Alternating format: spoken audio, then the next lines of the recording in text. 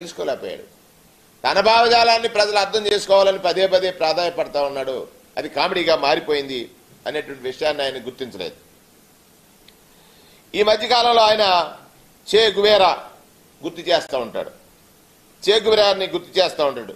ఆయన దృష్టిలో చే అంటే చంద్రబాబు నాయుడు అని. చే అంటే చే గువేరా కాదు చే నారా. చే నారా. గువేరా కాదు అది. చే అంటే గువేరా కాదు నారా అని.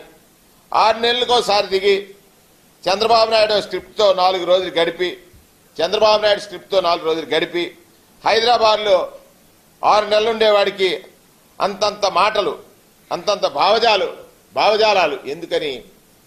ఎందుకులే అనేటువంటిది ప్రజలు అర్థం చేసుకున్నారు. చివరిలో బాగోదని ఈ మధ్యలో పొట్టి శ్రీరాములు గారిని తీసుకొచ్చాడు. అర్థం కానటువంటి నాయకులు చెప్తాడు. వారిని గుర్తు చేసుకుంటూ డైలాగ్ వదిలాడు. అలాగే భీమవరంలో ఓటర్ జాబితాలో కంటే లక్షకి ఎనిమిది వేల ఓట్లు ఎక్కువ పోలేయట అంటే ఓటర్ జాబితాలో కంటే లక్ష ఎనిమిది వేలు ఓట్లు పోలేయట ఎలా సాధ్యం? ఇది బాబు కామెడీ స్టార్ కాదు. ఇది బాబు కామెడీ స్టార్ గారు. అంటే బాబు గారి కామెడీ స్టార్ గారు. ఉన్న ఓట్లు పార్టీల వారిగా చంద్రబాబు తీయించేశాక జాబితాలో ఉన్న వారి కంటే ఎక్కువ ఓట్లు పోలు కావడం అన్నది అన్న కాన్సెప్ట్ ఎన్నికలైన నాలుగు ఏళ్ళ రెండు నెలల తర్వాత చెప్పడం కామెడీ కాక మరేంటి?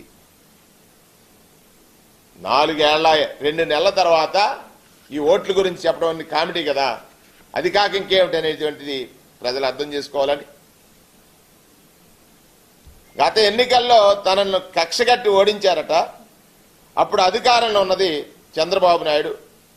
ప్యాకేజీ డబ్బు పంపించింది బాబు. మీ నియోజకవర్గంలో ప్రచారానికి వెళ్ళకుండా ఆగింది చంద్రబాబు. మరి కక్ష అనే పదం ఎక్కడి నుంచి వచ్చింది? ఇది అర్థం చేసుకోవాలి పవన్ కళ్యాణ్ గారు. వైఎస్ఆర్ కాంగ్రెస్ పార్టీ నాయకులు నిన్ను ఓడించాలని కంకణం కట్టుకున్నారు తప్ప గెలిపించడానికి మాకేమైనా పిచ్చా వెర్రా? ఖచ్చితంగా నిన్ను వైఎస్ఆర్ కాంగ్రెస్ పార్టీ నాయకులు ఓడించాలని కంకణం కట్టుకుంటారు. వాళ్ళ కమిట్మెంట్ అది. నేను గెలిపించాలని అనుకుంటారా? ఇది మరి ఏదో ఈ పిచ్చి భావజాలం.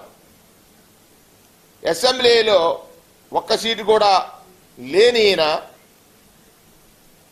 ఈయన్ని చూసి నూట యాభై ఒక్క సీట్లున్న మేము భయపడతాం. అసెంబ్లీలో ఒక సీటు గెలవలేని పవన్ కళ్యాణ్ చూసి నూట యాభై ఒక్క సీట్లను మేము భయపడతామా? ఆలోచించాలి కదా కనీసం. ఇక్కడ మాట్లాడతారు. రాజకీయ పరంగా పవన్ కళ్యాణ్ గారు ప్రజల భావజాలాన్ని అర్థం చేసుకోలేనటువంటి వ్యక్తి. తాను కలగని ఆ కళని ప్రజలు అర్థం చేసుకోవాలని ఆలోచించేటువంటి వ్యక్తి. దాన్ని ఆయన ఏమంటాడంటే నేను అసెంబ్లీలో అడుగు పెట్టకుండా ఎవరు అడ్డుకుంటారో అని ఒక ఛాలెంజ్ విసురుతున్నాడు. ప్రజలు నీకు ఒకసారి చెప్పారు కదా నిన్ను అసెంబ్లీకి ఎందుకు పంపించలేదు? అనేటువంటిది నీ నీ బాడీ లాంగ్వేజ్ కానీ మీ ఆలోచన విధానం కానీ మీ ఆలోచన ఒక్కటే చంద్రబాబుని ఎలా గెలిపించాలి? మీ ఆలోచన ఒక్కటే ప్రజలకు జరిగే మంచిని అడ్డుకోవాలి. ఈ మధ్యకాలంలో ఆయన ప్రెస్ మీట్స్లో చూశాను. ఆయన ప్రజలకు మంచి జరిగేటువంటి ఈ ప్రభుత్వం పైన పలు విమర్శలు చేస్తూ ఉన్నాడు. పవన్ కళ్యాణ్ గారు రెండు వేల పద్నాలుగు పంతొమ్మిది మధ్యకాలంలో తాను చంద్రబాబు నాయుడికి మద్దతు పలికి పద్నాలుగులో అధికారం వచ్చిన తర్వాత చంద్రబాబు నాయుడు చేసిన ఘోర తప్పిదాల్ని ఎందుకు ప్రశ్నించలేదు? అది ఆయన్ని ఆయనే ప్రశ్నించుకోవాలా? అంటే నీ భావజాలం ఏంటో ప్రజలకు అర్థమైపోయింది కదా.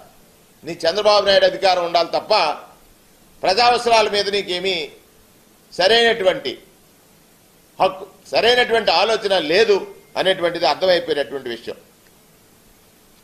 ఇంకొకసారి అంటాడు నిన్న కూడా జనసేన ఈ కార్యాచరణ చేస్తుందండి. నాయన మొన్ననే కదా నువ్వు అన్నావు నేను ముఖ్యమంత్రి అభ్యర్థిగా పనికిరాను అని. ముఖ్యమంత్రి కానివాడు తెలుగుదేశం ఎజెండాని జెండాగా మోసేటువంటి వ్యక్తి ప్రజలకు చెప్తే ఎలా నమ్ముతారు? చంద్రబాబు నాయుడు రెండు వేల పద్నాలుగులో ఆరు వందల హామీలు ఇచ్చి ఆరు హామీలను అమలు చేయలేదు. రైతులు మోసగించాడు విద్యార్థులు మోసగించాడు మహిళలు మోసగించాడు యువతను మోసగించాడు. మోసపోని వర్గం అంటూ లేదు. చంద్రబాబు నాయుడు రాజకీయంగా చంద్రబాబు నాయుడుతో మోసపోయినటువంటి మామ నుంచి సామాన్య మానవుడి వరకు ఆయన చేత మోసగింపబడ్డ వారే పవన్ కళ్యాణ్ గారు. ఇప్పుడు కూడా మీరు తెలుసుకోలేకపోతే దురదృష్టం. ఒకటి మాట్లాడితే కుల ప్రస్తావన చేస్తారు. జగన్మోహన్ రెడ్డి గారు కాపుల్ని బీసీల్లో చేర్చడం నా పరిధిలోని అంశం కాదు. జగ్గంపేట సభలో స్పష్టంగా చెప్పారు ఆయన. ఇది కేంద్ర ప్రభుత్వం చేయాల్సినటువంటి కార్యాచరణ లేదా కార్యక్రమం. నా పరిధిలోని కాని అంశం గురించి నేను మాట్లాడను అని చెప్తే ఒక పక్షాన ఆయన మెచ్చుకుంటున్నాడు. జగన్మోహన్ రెడ్డి గారి ధైర్యం గురించి. ఎస్ జగన్మోహన్ రెడ్డి గారు నిజం మాట్లాడతారు. ధైర్యం ఉన్న వ్యక్తి. నిజం మాట్లాడేవాడికి ధైర్యం ఉంటుంది. అబద్ధానికి భయం ఉంటుంది తప్ప నిజానికి ఎప్పుడూ ధైర్యం ఉంటుంది. అదే అక్కడ చెప్పాడు ఆయన. కాపుల్ని బీసీలో చేర్చడం అనేటువంటిది నా పరిధిలో అంశం కాదు. అది కేంద్ర ప్రభుత్వ పరిధిలోనే అంశం. నేను ఆ విధంగా మిమ్మల్ని మోసగించలేననేటువంటి మాట జగన్మోహన్ రెడ్డి గారు చెప్పారు. కాపు సోదరులు విశ్వసించారు అది. చంద్రబాబు నాయుడు చేసిన మోసం కాపులకి ఆయన పెట్టినటువంటి కష్టం నీకు ఆ రోజు కనిపించలేదు. తుని ఘటన కానీ ముద్రగడ పద్మనాభం గారిని వారి కుటుంబ సభ్యుల్ని చంద్రబాబు నాయుడు ప్రభుత్వం అవమానించిన తీరు కానీ నిన్ను బాధించలేదు. కానీ జగన్మోహన్ రెడ్డి గారు తునిలో జరిగినటువంటి రైలు ఘటనలో చంద్రబాబు నాయుడు ఎన్నో ఆరోపణలు చేశాడు. తాను ప్రభుత్వంలో ఉండి కేవలం రాజకీయంగా ఆ ఘటనను ఎలా వాడుకోవాలనేటువంటి లక్ష్యంతో రాయలసీమ నుంచి వచ్చి రైలు తగలబెట్టారని రాయలసీమలో ప్రాక్షనిస్టులు వచ్చారని వచ్చారని చెప్పాడు. కేసులు ఎవరి మీద పెట్టాడు. ముద్రగడ ముద్రగడ అనుయాయులు అను- అనుయాయుల మీద కదా పెట్టాడు. నిరసన తెలిపినటువంటి కాపు సోదరులు కదా అక్రమ కేసుల్లో ఇరికించాడు. ఏమడిగారు? తానిచ్చిన హామీని అమలు చేయమని అడిగితే జరిగినటువంటి ఉదంతంలో తాను చేసినటువంటి ప్రయత్నాలు చంద్రబాబు నాయుడు ఆనాడు చంద్రబాబు నాయుడు పక్కన ఉన్నటువంటి పవన్ కళ్యాణ్ గారు ఇప్పుడు మీరు ఆలోచన చేయలేదా? ఇవాళ కాపు సోదరుల గురించి మీరు మాట్లాడుతూ ఉన్నారే? ఎస్ కాపు సోదరుల్ని చంద్రబాబు నాయుడు మోసగించాడు. అది స్పష్టమైనటువంటి అంశం. అది గమనించారు. నిజం మాట్లాడినటువంటి జగన్మోహన్ రెడ్డి గారి పక్షాన నిలిచారు. నిలిచారు. ఇవాళ రాష్ట్ర ఉప ముఖ్యమంత్రి నుండి అనేక కీలక పదవుల్లో మంత్రి పదవుల్లో వారు ఉన్నారు దానితో పాటుగా సుమారుగా పదిహేను వందల కోట్ల రూపాయలు పదిహేను వేల కోట్ల రూపాయలు సుమారు ముప్పై వేల కోట్ల రూపాయల వరకు కాపు సోదరులకు వివిధ రకాలైనటువంటి పథకాల ద్వారా అందినవి. అదే కాకుండా వారి ఆత్మగౌరవానికి సంబంధించినటువంటి అంశాల్లో పనే పలు అంశాల్లో తునిఘటనలో కేసులు కానీ ఆ తదనంతరం జరిగినటువంటి అల్లల్లో ఏదైతే ప్రాంతీయంగా జరిగినటువంటి అల్లల్లో కేసులు కానీ ప్రభుత్వం ఉపసంహరించుకుంది. అలాగే కాపు సోదరులమణులకు కాపు నేస్తం. కార్యక్రమం తీసుకొచ్చి ఒక్కొక్క అక్క చెల్లికి డెబ్బై ఐదు వేల రూపాయలు వారి ఖాతాల్లో జమ చేయటమే కాకుండా అమ్మఒడి కానీ ఆసరా కానీ వృద్ధులకు పెన్షన్లు కానీ ఇళ్ళ స్థలాలు కానీ వారి పిల్లలు చదువుకుంటే విద్యా దీవెన కానీ వసతి దీవెన కానీ ఇటువంటి మంచి కార్యక్రమాలు అమలు చేస్తున్నాడే జగన్మోహన్ రెడ్డి గారు. దాని మీద మీరు మాట్లాడలేరే మీరు ఒక్కడే అంటారు. చంద్రబాబు నాయుడు చేసిన తప్పిదాల గురించి కనీసం మాట్లాడినటువంటి ఈ పవన్ కళ్యాణ్ గారు.